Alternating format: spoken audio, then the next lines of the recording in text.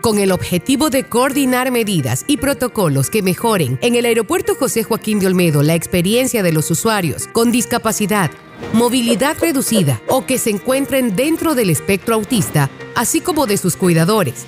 Los representantes de la Autoridad Aeroportuaria de Guayaquil, la vicealcaldesa de la ciudad, Blanca López, y técnicos especializados en inclusión social recorrieron las instalaciones de la terminal aérea. Con estas visitas se refuerzan los debates y la voluntad firme de seguir creando ambientes inclusivos y accesibles para todos los usuarios del aeropuerto de Guayaquil. Autoridad Aeroportuaria de Guayaquil y Alcaldía de Guayaquil, trabajando juntos para brindarles un mejor servicio y construyendo la ciudad de todos.